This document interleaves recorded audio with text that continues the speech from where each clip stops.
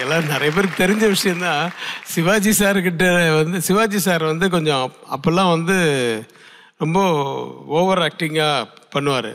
That is அது over acting சொல்ல முடியாது. அவருடைய ஒரு ஸ்டைலு அது கேட்பாங்க. படையப்பால் ஒரு சீனில் வந்து ஒரு ரிஹர்சல் பார்த்தோம். அவர் வந்து சொத்தை பிரித்து கொடுங்கன்ட்டு மணிவண்ணன் கேட்டவுடனே இவர் இவர் பிறந்து விடா அப்படின்னு சொல்லிட்டு இவர் இங்கேருந்து நடந்து போய் மணிவண்ணன் டைலாக்கை பேசணும்.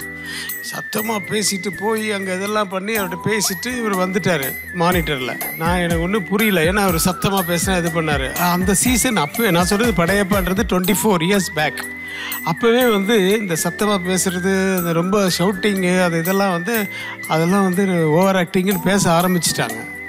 அதுக்கு முன்னாடி எல்லாம் அதெல்லாம் பாராட்ட பாராட்டிட்டு இருந்தவங்க ஆடியன்ஸே மாறிட்டாங்க. டுவெண்ட்டி ஃபோர் இயர்ஸ் பேக் நான் சொல்கிறேன் நான் என்ன பண்ணுறதுன்னு லக்ஷ்மி பார்க்குறேன் லக்ஷ்மி தலை குனிஞ்சிருக்காங்க. அதுக்கப்புறம் இந்த பக்கம் பார்க்குற ரஜினி சார் வந்து எப்படி என்னையே பார்த்தாரு.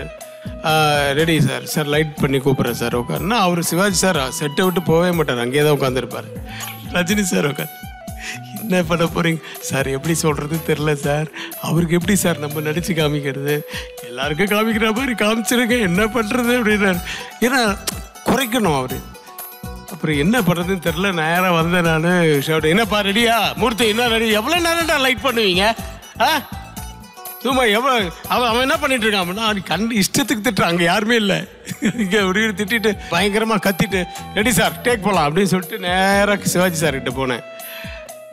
காதை வந்து அவர் வாய்கிட்ட வச்சேன் சார் அந்த டைலாக் ஞாபகம் நல்ல ஞாபகம் இருக்குடா அப்படின்னாரு.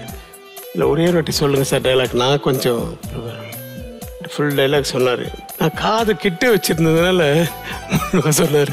நான் உடனே சார் இப்போ நீங்கள் பேசுனீங்களே அதை விட ஒரு பர்சன்ட் கூட வால்யூம் ஏற்றாமல் அப்படியே சொல்லுங்கள் சார். ரெடி அப்படின்னு அதுக்கப்புறம் நான் அவரை பார்க்கல. ரெடி என்னடா பண்ணிகிட்டு இருக்கீங்கன்னு இந்த பக்கமே பார்த்தேன். எனக்கு தெரியுது நல்லா அவர் என்னையே முறைச்சிட்டு இருக்காருன்னு.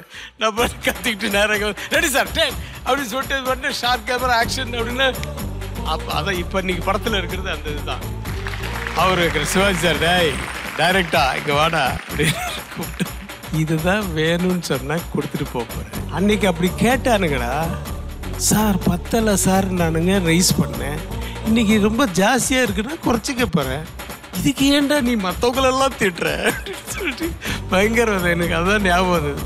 ஸோ காலம் மாறிட்டே இருக்கு. நான் சொல்லிட்டு டுவெண்ட்டி ஃபோர் இயர்ஸ் பேக்கே என்னைக்கு அது இன்னும் கொஞ்சம் செட்டிலாக பண்ணணும்னு ஃபீல் பண்ணீங்கன்னாவே நீங்கள் பெரிய கதாநாயகி ஆயிடுவீங்க.